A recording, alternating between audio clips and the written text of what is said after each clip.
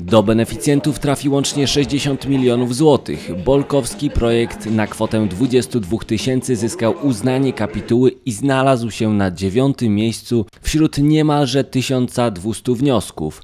Plany Bolkowskiego ośrodka są bardzo ambitne. Planujemy stworzyć słuchowisko.